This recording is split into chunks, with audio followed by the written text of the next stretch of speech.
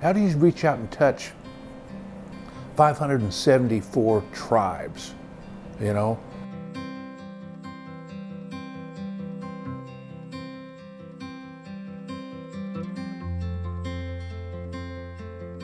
This design came to me almost overnight.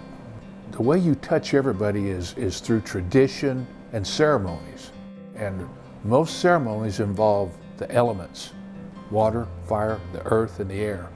All those things are sacred. And then we know that uh, the directions are sacred. You know, the power, we know that uh, they say that the power comes from these different directions. And some tribes, you know, just recognize four.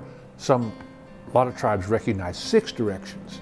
And then we recognize uh, the cardinal points. The cardinal points are the southeast. That's our sacred color, white.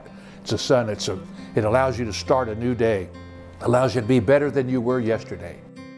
So the southwest is the color red. That's where the creator comes from. You know, that's where weather comes. Bad weather, weather comes from that direction. That's that's the creator showing his power to you. You know, and so we always think about the creator when it, in the southwest. And the northwest is the color yellow, and that's Mother Earth or Grandmother Earth.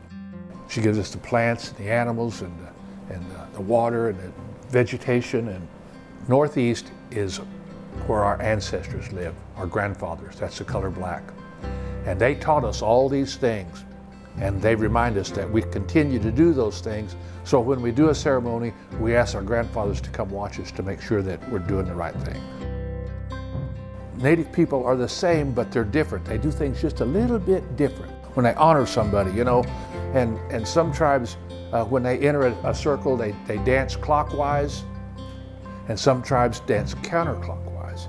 And some tribes will come in from the west or the north or the east, you know, they have their directions that they come into. The cardinal points completes the circle, completes the cycle of life. The circle is so important. Then I think about the dance grounds and teepees are around and hogans are around and, and kivas are around and, and uh, some of these roundhouse lodges. And I said, the circle is so important. In order for you to stay in harmony, you have to walk the red road. And sometimes you'll get out and, and, and, and you the, the, red road pulls you back to the middle and then you might drift out a little bit and come back in. So I thought, you know, I need a pathway. I need a pathway, and we'll call it the path of life until you get into the area where uh, the uh, directions are, and then you come inside where the where the drum is, and the water and the fire in the big circle. I said, uh, when you come into there, you become in harmony with all of those things. You know, so you know, it came to me overnight, but it was my experience of a lifetime that that all came together. You know, the the brain just put it all together for me. You know, but it's things that I was taught, uh, learned on my own, and and uh, learned from other people, and uh, so yeah, it, it, was a lifetime experience that helped build this this, this memorial.